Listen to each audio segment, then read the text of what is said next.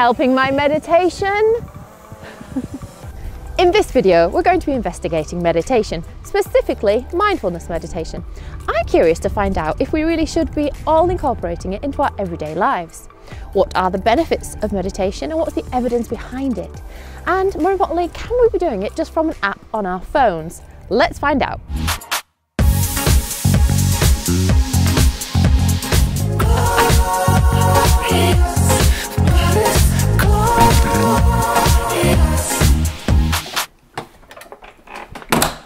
Okay, back in the warmth. So what is mindfulness meditation? Well, it's a form of mental training where you focus non-judgmentally on present moment experiences, which may include sensations, thoughts, and emotions. And it's becoming increasingly popular, well, meditation generally. In fact, 80% of US medical schools are now including meditation-based interventions as part of their education, research, and training programs. And I think the reason for this increased popularity is probably twofold. First of all, we are busy seeking alternatives to traditional medications that have got less side effects, especially things like chronic pain when we've got this massive opioid epidemic. Secondly, patients are becoming more active and accountable for their own health, and meditation something they can do themselves at home or wherever they want to do it. So what uses are there for meditation? I'll sit down for this bit. So the uses for mindfulness meditation are long and include things such as helping with migraine, IBS, fibromyalgia, reducing cardiovascular risk, uh, substance misuse, smoking cessation, the list goes on. But the ones I'm going to talk about today are the two big ones, which are for stress reduction and for chronic pain. And also a little third one, which I think is really, really interesting, which is how it can actually affect your immune system. So a 2016 systematic review of more than 20 RCTs involving 1600 participants found that mindfulness meditation can affect your immune system. It decreases uh, pro-inflammatory processes, it increases cell-mediated defense parameters, and it increases enzyme activity to guard against cell aging. So it actually helps prevent your cells from aging. We're talking about meditation. And if that's actually all true, then that would have a massive impact on things like viruses, cancer, um, type 2 diabetes, osteoporosis, and so on. So that's tentative in terms of evidence, but it's certainly really interesting and one to watch out for in the future. So let's talk a little bit more about how mindfulness meditation can help with chronic pain. There are masses of studies that look at the effects of meditation and chronic pain. We know that it can affect your expectations of impending pain, about your pain acceptance, quality of life, and functional status. And we know this isn't just in the short term whilst you're actually meditating. An interesting study on lower back pain found in a three year follow up that there was still sustained benefit. In fact, in the short term, when you're meditating, um, meditation helps lower your pain intensity. In effect, closes the gate on the pain. But when you've been meditating for a much longer period of time, it has a different effect. It actually decreases the unpleasantness of the pain, and you become able to separate the meaning of the pain from the sensory experience. And what that allows people to do is be better able to cope with the pain. And that has a huge impact for all the millions of people who have chronic pain and may mean that they're able to decrease the amount of medication they're taking that has nasty side effects. So we know that the evidence comes from patients telling us that they have decreased pain, and the more meditation experience you have, the lower reported pain scores you have.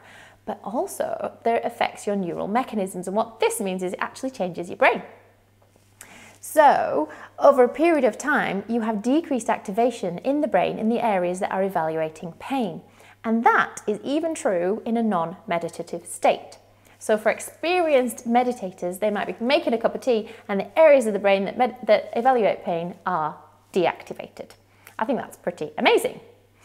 And thinking about how it affects your brain, we can think a little bit more about this when it comes to stress as well. So what is the link between stress and the brain and mindfulness meditation? Well, studies show that mindfulness meditation can actually change the structure and the function of the brain in the areas that are associated with attention, self-regulation and emotion. We know that patients who have got moderate to severe stress do have changes in their brain. They have increased grey matter density within the amygdala and decreased grey matter density within the hippocampus and prefrontal cortex. And when mindfulness meditation is carried out, the opposite is then true. They've got decreases in the amygdala and increases in the hippocampus. And we know that it also affects what's called our parasympathetic nervous system, which is traditionally what we think of as our rest and digest. And can block what's called the sympathetic nervous system, which is what we think of as our fight and flight response. And our fight and flight response was really useful when we were hunter gatherers being chased by lions, but when we're just getting stressed about a mountain of emails to respond to, it's much less useful. So, overall, there's excellent evidence that mindfulness meditation can affect, uh, beneficially affect stress, anxiety, and depression. So, let's have a look overall. What is the evidence for meditation? How robust is the evidence? Well, there are a couple of key problems overall with the evidence with mindfulness meditation. First of all, a lot of the studies rely on patients self reporting the results, which therefore means it's open to bias. The patients end up just saying what they think the researchers want to hear.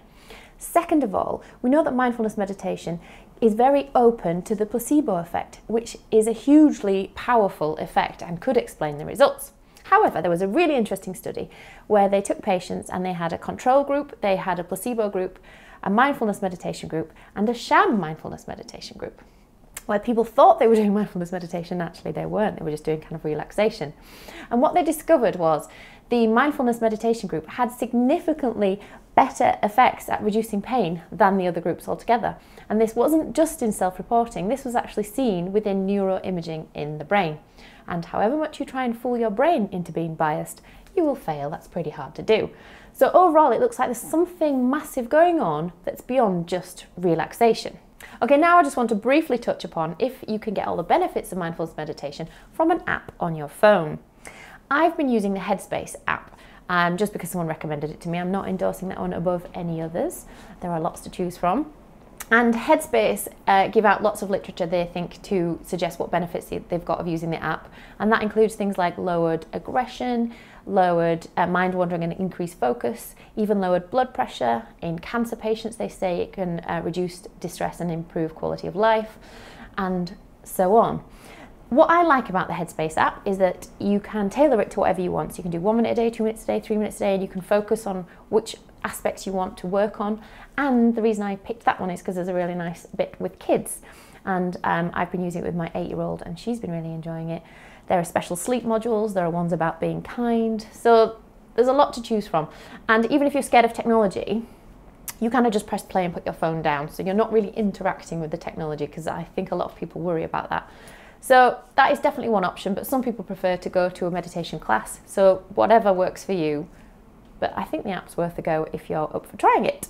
So my recommendation for you guys is just to do it. Just start. Start small, just a minute, two minutes, three minutes a day, whatever you want to do. Once you start to understand the principles of it, you can practice it. Like I practice it when I'm waiting for the microwave to ping or I'm in a queue. And it is a skill to be practiced. It is called meditative practice. It's like learning the piano. It's going to be hard at first, and the more you do it, the more you enjoy it. I know some people say they're too busy to do it, but I think ultimately it makes us more efficient in our day to day lives. So I think it's easy to find time for it and there are no side effects. Not adverse side effects, only good side effects. So it's really worth trying. I'm not suggesting we're going to reach self actualization and become Buddhist monks, but we may find ways to be better at managing stress, at managing pain. We may improve our immune systems, we may lower our blood pressure. So there's so many benefits to be had from just, just squeezing this in for a minute or two a day. Right, so that's everything on mindfulness meditation. I hope you really enjoyed it.